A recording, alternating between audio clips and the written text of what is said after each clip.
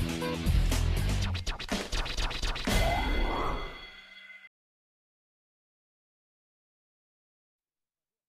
Olá, boa tarde. Começamos o Esporte na Área, hoje, sexta-feira 13, e vamos começar falando lá da Série D, né? Porque neste momento está acontecendo o jogo do Altos com a equipe do Motoclube, valendo rodada da Série D do Campeonato Brasileiro. O jogo está acontecendo em São Luís, no estádio Ninhozinho Santos, e a partida está aí 2 a 1 a, equipe do Motoclube acabou de virar, o jogo estava 1 a 1 acabou de virar com o Flamel. E aí, com esse resultado, o Altos continua sendo líder, mas diminui um pouco essa vantagem do time sobre as outras equipes. A equipe do River, né, que enfrenta amanhã a equipe do Juventude Samas no estádio Pinheirão, na cidade de São Mateus do Maranhão. O time treinou nesta manhã, inclusive vamos conferir né, um pouco das palavras de Flávio Araújo sobre essa partida um jogo decisivo, né, também, porque se terça-feira, quarta-feira pelo estadual foi para fugir do rebaixamento, agora é para briga aí pela classificação e brigando pelo segundo lugar, né? Um jogo de dois concorrentes diretos, Juventude e River. E acima de tudo, né, nós já conhecemos adversário, o adversário já nos conhece. Nós temos que fazer um jogo de intensidade e de qualidade, né? Intensidade na marcação, na compactação e qualidade com a posse de bola, porque por que intensidade na marcação e na compactação? Porque o adversário é um time que gosta de ficar com a bola, um time que tem boa, boa poste bola e nós temos que impedir. E qualidade porque é um adversário também forte, né? Para que nós possamos fazer a transição, a, a, a, construção, a criação de jogadas ofensivas. Enfim, vai ser um grande jogo, um campo muito bom. Esperamos com isso realmente é, conseguir, se Deus quiser, uma vitória para a gente ratificar a nossa classificação e cada vez mais próximo da segunda posição. O jogo é amanhã às três e meia da tarde. O River aí que precisa, né, que busca essa, essa segunda colocação para seguir bem na tabela e também conseguir esse acesso, esse tão sonhado acesso para a Série C. Quem também está em campo é a equipe do Tiradentes, em Belém, no Pará, enfrentando o SMAC. Essa partida vale rodada, última rodada do Campeonato Brasileiro Série A2, é, né, que é a segunda divisão do Campeonato Brasileiro Feminino. O Tiradentes está ganhando de 4 a 2 da equipe do SMAC. Com esse resultado, é, o time vai para a liderança, né? Fica dependendo aí do resultado do, da, do jogo do Ceará, esperando uma derrota do Ceará para conseguir ficar, terminar a competição na liderança. O time piauiense já está classificado, mas mesmo assim, né, busca essa vitória para conseguir melhores posições, porque caso ele tivesse perdido esse jogo, caso ele perca esse jogo, ele fica na terceira colocação, mas de qualquer maneira passa mas com essa vitória ele vai se classificando aí entre o primeiro ou o segundo colocado. É, e hoje à noite temos rodada do Campeonato Piauiense de Futsal. Três jogos no ginásio do Vale do Gavião, né? Vamos conferir aí a tabela, os jogos. É, o primeiro jogo vai ser Fundação GES e Belos. Esse jogo é importantíssimo porque são duas equipes que vêm de vitórias. Inclusive, o Belos vem aí de uma vitória elástica é, é, no, na última competição sobre o Ajax, né? A gente também tem o Borussia, que é um time que vem para o seu segundo jogo, também vem de vitória, contra o Beneditinos, que é uma equipe que vem de derrota. E também temos a Ajax e a Mesa 14, a, a Mesa 14 ABB, que também é outra equipe aí que vem de vitória e jogos importantes para essa rodada. É, acontece jogos nesse nessa rodada do Campeonato de Futsal e também no Campeonato Piauiense e também no, na Copa Unidos pelo Futsal Piauiense, que também acontece esta noite. E aí, fecha a rodada, só vai voltar aos jogos na segunda-feira.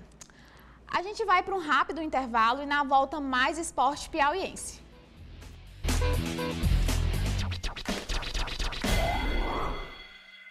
TV Assembleia está sempre por perto e a gente se encontra onde você preferir. Na TV aberta, canal 16.1, ITT Play, canal 16, na NET pelo canal 7, na Vivo TV pelo canal 9, na Oi TV, canal 215, na Sky, canal 216.1 e na internet tvassembleia.org.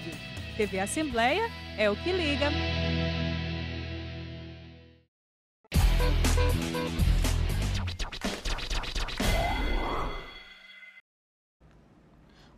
Com esporte na área, agora para falar de natação, porque a equipe aquática Tri conseguiu bons resultados na última competição que foi realizada no Ceará.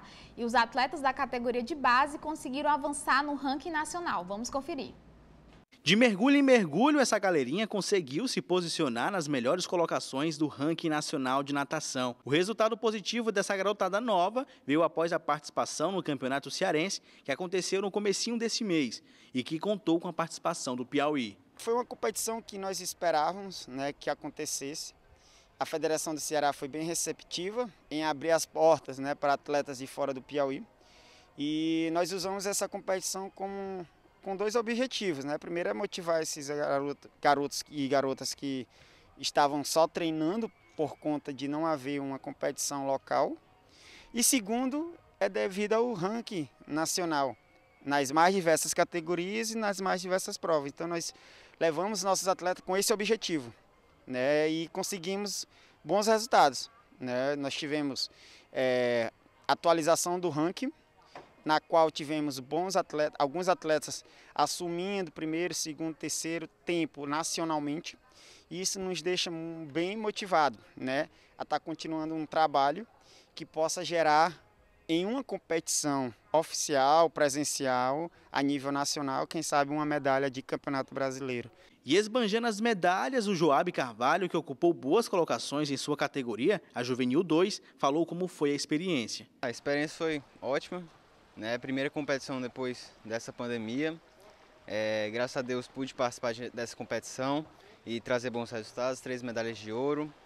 E baixei alguns tempos, piorei outros, é, faz parte. E agora é trabalhar em cima disso. Mas foi boa experiência, é, voltar a competir é sempre muito bom. E as meninas, apesar da pouca idade, também já sabem o quanto é bom vencer.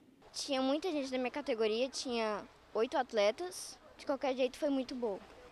Muito boa, eu fiquei muito feliz na hora. Para mim foi uma experiência muito boa. Faz muito tempo que eu não compito em outro lugar, então foi muito bom isso. Foi uma sensação muito boa. Eu já penso em me, me esforçar mais. É, vou nadando, nadando, treinando, aí tem um dia já tô lá, lá em cima.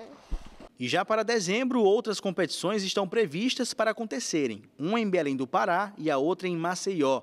E a preparação segue forte até lá.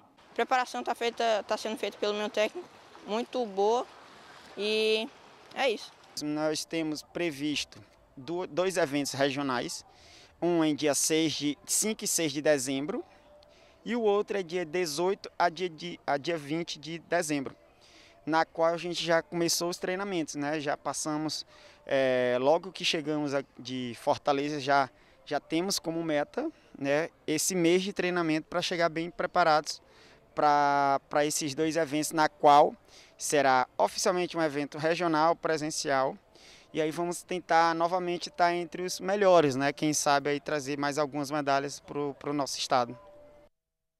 Para finalizar o esporte na área, vamos falar rapidinho do anúncio que foi feito esta tarde. A judoca Sara Menezes publicou no seu Instagram que vai fazer uma pausa em sua carreira no esporte por conta da sua gravidez. A atleta anunciou que está grávida há dois meses do judoca francês Loic, que foi campeão aí mundial em 2013. E agora, né, vai dar esse tempo para a maternidade. Lembrando que com isso a Sara deixa de competir, deixa de, de buscar sua vaga nos Jogos Olímpicos de Tóquio, né? Ela que ia para sua quarta Olimpíada, né? Ela que também não estava tão bem dentro do ranking, né? Na sua categoria 52 quilos, a melhor brasileira era Larissa Pimentel. E enfim, né? A Sara vai aí ter uma nova etapa em sua vida. E o esporte na área fica por aqui. Um bom final de semana. Votem consciente nessas eleições. O programa volta na segunda-feira.